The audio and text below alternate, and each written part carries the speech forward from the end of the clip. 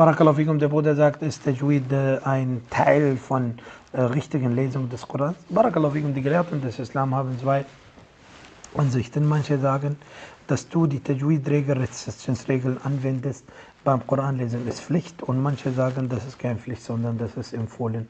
Hauptsächlich, dass die Lesung richtig ist. Deshalb, Barakallahu fikum, ob man jetzt Tafkhim oder Tarqiq, dick oder dünn, eine Buchstabe liest, kann man nicht sagen, da hat man nicht falsch gelesen. Okay, besser ist, dass man den Koran richtig liest, aber mit Ahkam, mit Rezessionsregeln und deshalb lernen wir das auch. Aber wir können nicht das als Pflicht sehen, obwohl manche Gelehrten das als Pflicht sehen. Wallahu ta'ala ala. Vor allem hauptsächlich, dass du richtig liest.